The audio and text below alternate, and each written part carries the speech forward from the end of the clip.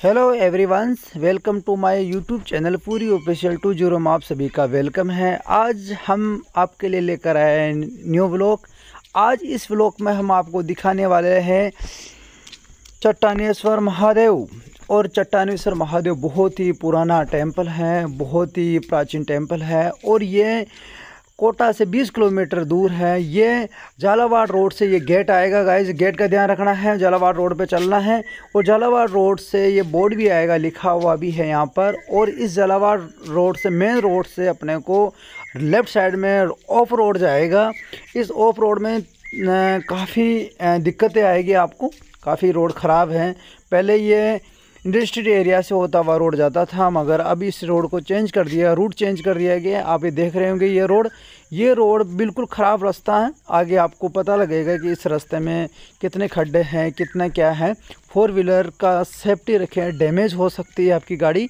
और इस रूट से होते हुए ये रेत का जो टीला बना रखा है, इसके चारों तरफ़ से घूम के अपन, और एक गाँव आएगा। आलनिया गाँव आएगा, वहाँ पर एक स्कूल भी है। आलनिया स्कूल से होते हुए आलनिया जो स्टेशन से आएगा, वहाँ से होते हुए अपन चलेंगे चट्टानेश्वर महादेव। और आप इस और गाइस इस पूरे ब्लॉक में आपको वहाँ का लोकेशन दिखाएँगे, भोलेनाथ जी के वहाँ का। और आप देखेंगे कि कितना शांत और कितना अच्छा लोकेशन है वहाँ का। तो आप इस ब्लॉक में बने रहें और अपन हम चलते हैं चट्टानेश्वर महादेव। जय भोलेनाथ।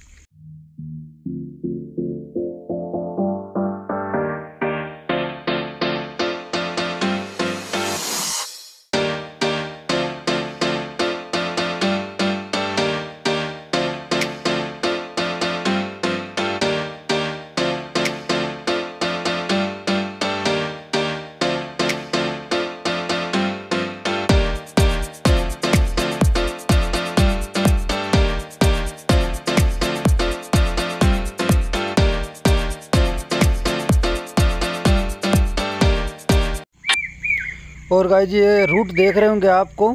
बहुत ही ख़राब रास्ता है। यहाँ पर क्या है कि अंडरपास का भी काम स्टार्ट हो गया है।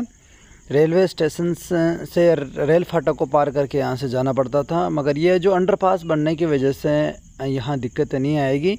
पहले ये जो इंडस्ट्रियल एरिया से सीधा रास्ता आता था, मगर ये बंद इंडस्ट्रियल एरिया बनने के बाद में और इस एरिया से आना पड़ता है तो काफ़ी इस ख़राब रास्ते का अपने को सामना करना पड़ता है। और थोड़ा अपनी गाड़ी को स्लो चलाए और फास्ट ना चलाएँ, क्योंकि गाड़ी डैमेज हो सकती है। और इसमें अंडरपास में ये भी दे रखा है कि यदि इसमें पानी इतना मीटर से इतना ज़्यादा बढ़ जाता है तो इसमें गाड़ी को नहीं निकाले, क्योंकि इसमें सारा इंडिकेटर इसमें दे रखा है। तो हमने इसमें कम पानी है तो हमारी गाड़ी आराम से निकल जाएगी, कोई प्रॉब्लम नहीं है। तो तो हम इस अंडरपास को पार करते हुए और हम आपको लेकर चल रहे हैं चट्टानेश्वर महादेव। और ये जो अंडर पास है, इसमें पानी भरा हुआ तो हमने गाड़ी को स्लो निकाली, कहीं इसमें खड्डे नहीं हों। और इस अंडर पास को आप देख रहे होंगे कि हम पार कर रहे हैं। और यहाँ पर इसका काम भी चल रहा है। कंस्ट्रक्शन का काम लगातार जारी है। तो फिर हम यहाँ से अंडर पास से निकल कर यहाँ पर कारीगर काम कर रहे थे। तो उनसे हमने रास्ता पूछा है कि क्योंकि यहाँ से इस पुलिया से निकलने के बाद में आपको पता भी नहीं चलेगा, जंगल वाला एरिया है और रोड भी नहीं है और कच्चा रास्ता भी नहीं है कि आपको पता लग सके कि कौन सी साइड चलना है। फिर इन आदमियों से हमने पूछा, यहाँ पर रुक उन्होंने हमारे को जो बताया है कि ये जो दो रास्ते जा रहे हैं, आगे राइट और लेफ़्ट इसमें से आपको आगे जैसे ही आप अंडर पास को पार करेंगे या लेफ़्ट राइट दो रास्ते आएँगे तो आपको लेफ़्ट वाला जो है रास्ता उसमें जाना है। लेफ़्ट वाले रास्ते में जैसे आप आगे चलेंगे तो आपको ऐसा लगेगा कि बिल्कुल ही रास्ता ब्लॉक हो चुका है आगे कोई भी रास्ता नहीं है और यहाँ कोई आदमी भी नहीं मिलेगा कि उसको आप पूछो और मैप भी नहीं बताएगा आपको कि कौन से रास्ते से चलना मैप भी काम करना बंद कर देगा। और और गाइस हम इसी ही रूट पर आगे बढ़ते गए कि भोलेनाथ जी का दर्शन देख रहे होंगे कि इतना रास्ता है कि इस रास्ते से मुझे उतरकर गाड़ी में बताना पड़ रहा है कि गाड़ी कहीं डैमेज ना हो जाए। और ये रूट काफ़ी हार्ड है और काफ़ी चट्टाने हैं और नाम भी भोलेनाथ जी का चट्टानेश्वर है। तो हम इस रूट के थ्रू चल रहे हैं। गाड़ी जहाँ तक जाती है, वहाँ तक लेकर जाएँगे। और आगे मुझे बताना पड़ रहा है, खड्डे आ रहे हैं काफ़ी। तो आप भी चट्टानेश्वर आओ। तो थोड़ा ये रास्ता बहुत ही ख़राब है।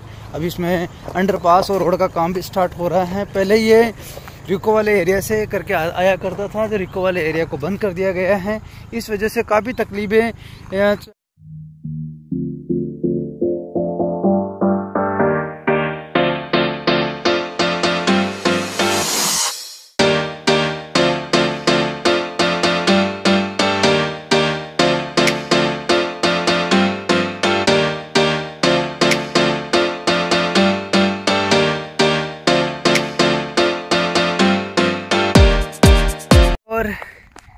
माय वाइफी एंड हमारे गजेंद्र जी, हम आगे हैं अब चट्टानेश्वर महादेव और ये आप देख रहे होंगे चट्टानेश्वर महादेव धर्मशाला है, विकास समिति।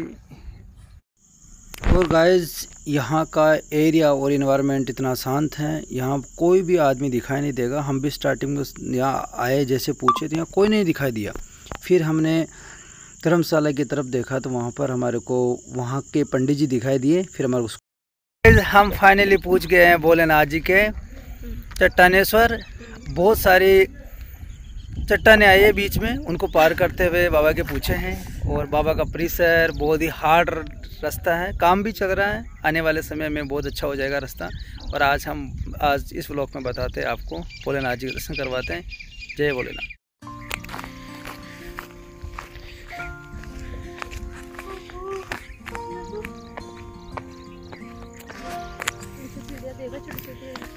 तुम तुम्हारे ये आदत खराब लगती मुझे।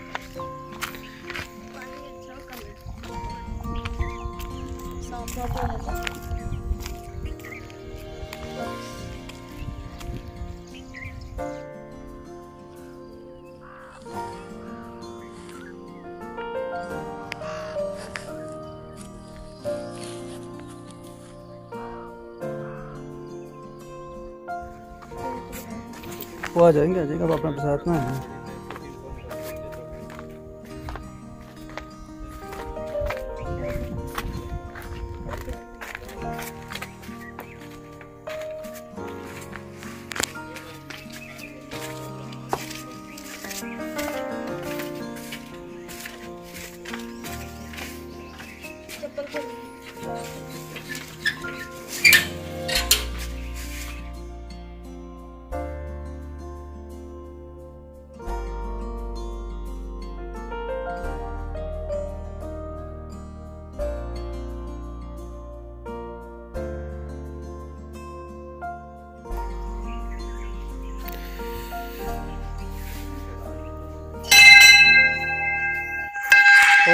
अब आप भी भोलेनाथ जी के दर्शन करिए और हमने भी भोलेनाथ जी के दर्शन किए और यहाँ पर ही भोलेनाथ जी के जो पिंड पर हमने जल अर्पित किया है और हम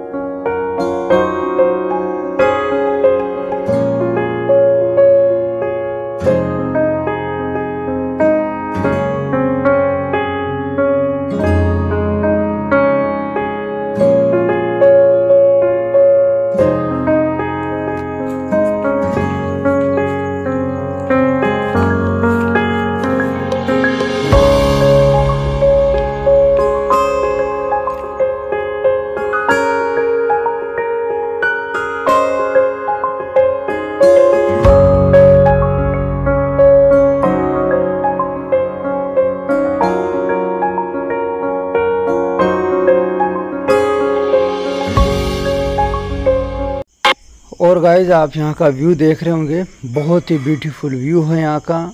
और यहाँ चट्टाने ही चट्टाने आपको दिखाई दे रही होगी। नाम से सिद्ध है कि चट्टानेश्वर महादेव, क्योंकि यहाँ बहुत सारी चट्टाने हैं। और इस चट्टानों में पानी भरा हुआ है। और यहाँ पर ऊपर एक एनीकट है। उस एनीकट से यहाँ पर बारिश के दिनों के अंदर वहाँ का बहाव, जो आता पानी, और यहाँ पर भी बहुत अच्छा पानी का बहाव होता है, मगर अभी बारिश नहीं हुई है तो हम गाइस आपको एनीकट की तरफ़ भी ले जा नहीं सकते, क्योंकि एनीकट की तरफ़ चलेंगे तो वहाँ पर भी पानी का बहाव नहीं है तो इतना मज़ा नहीं आएगा आपको। इस वजह से हमने यहाँ पर ही भोलेनाथ जी के दर्शन करके और यहाँ से ही वापस हम क्या है कि रिटर्न हो गए।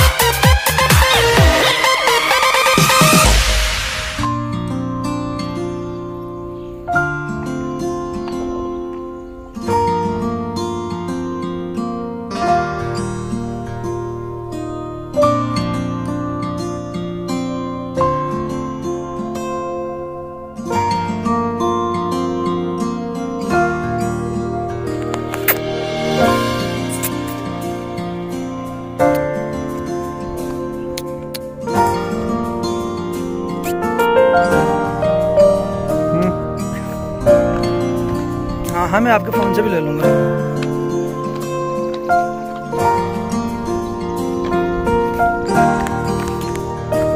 अरे उधर किधर जा रहे हो? यहाँ से निकलते हैं ना। हाँ हाँ यहाँ से जाना पड़ेगा मतलब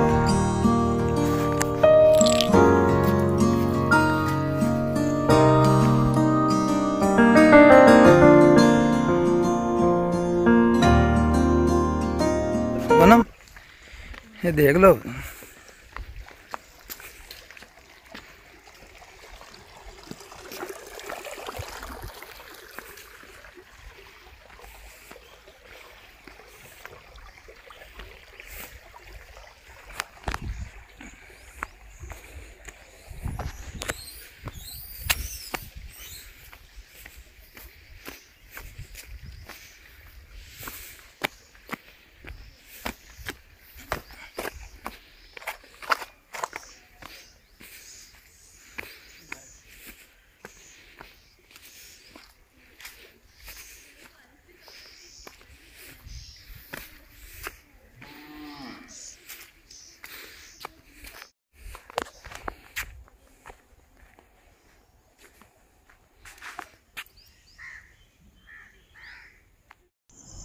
और गाइस आप देख रहे होंगे ये ब्यूटीफुल नज़ारे और यहाँ बहुत ही अच्छा लग रहा है। यहाँ आकर बहुत शांत फील हो रहा है।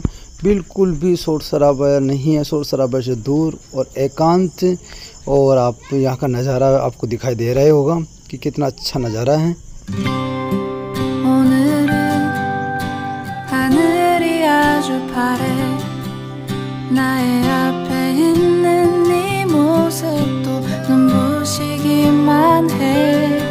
세상은 따뜻해 나의 곁에 있는 너로 변하지 않는 네 모습 और आज आपने ये वीडियो देखा है कैसा लगा गाइस थैंक्स फॉर वाचिंग और मेरे यूट्यूब चैनल को सपोर्ट प्रदान करें आप मेरे चैनल को सब्सक्राइब करें शेयर करें एंड कमेंट करें आज हमने बाबा के दर्शन कर लिए हैं चट्टानेश्वर बाबा के शिव भोले जी के बहुत अच्छा लगा बहुत अच्छा व्यू है लोकेशन है। और मेरी वाइफ भी देख बताना चाहेगी कि इनको भी कैसा लगा। और बताइए कैसा लगा आपको? बहुत अच्छा। कैसी है चट्टाने?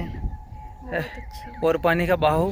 पानी का बहाव भी कम है बारिश नहीं हो रही बारिश नहीं हो रही। बारिश होने के बाद में आप आएँगे तो बहुत अच्छा लगेगा गाइस यहाँ आने के बाद में इतना सुकून मिलो महसूस होगा कि आप जन्नत में आ गए हो। शोर शराबे से दूर बिल्कुल जन्नत एरिया में। पाँच छः घंटे का टाइम निकाल के यहाँ जाए। और यहाँ का आनंद ले। आए हैं भोलेनाथ जी के यहाँ और यहाँ पर हमारे जो पंडित जी हैं और इन्होंने हम घूम के आने के बाद इन्होंने हमारे को बुलाया और हमारे हम इनसे पूछना चाह रहे हैं इसके बारे में हमारे को पता नहीं है कि हिस्ट्री क्या है। थोड़ा सा आप इनके बारे में बताइए भोलेनाथ के बाबा जी के बारे में कि क्या है सर? सबसे पहले तो हाँ हाँ सर नमस्कार। हाँ सर। ये चट्टाने शिव महादेव एक बहुत ही प्राचीन स्थान है। हाँ सर। इसका हमें भी पता नहीं है हमारे जो पुराने जो भी यहाँ पे थे उनको भी जानकारी नहीं है कि कितने वर्षों से है। सौ दो सौ वर्षों का तो हमें अंदाज है कि उसके पहले के भी बोलते रहे हैं इसका कोई जानकारी नहीं जी सर। और यहाँ पे एक तो क्या है सीता जी के मांडने हैं। हम्म। जो सेल चित्र बने हुए सीता जी वनवास आई थी उस समय। सेल तो चित्र बने एक चट्टान पे वो चित्र बनाए हुए हैं उनको खोदते हैं तो अंदर से निकलते जाते हैं। निकलते जाते उनका अस्तित्व खत्म नहीं होता है। हम्म। अरे बेरु गुफा है यहाँ। कोई भी मान्यता माँगता है उस बेरु गुफा में उसकी मान्यता पूरी होती है। हम्म। ये एक बहुत ही प्राचीन स्थान है। ठीक सर बहुत बहुत सावन में बहुत ही यात्री आते हैं। यात्री आते हैं।